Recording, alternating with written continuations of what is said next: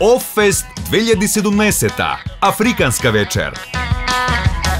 Од Мавританија, големата пеачка звезда на црниот континент, Нура Минт Сеймали. Недела, 28 мај, Младенски културен центар Дансинг сала.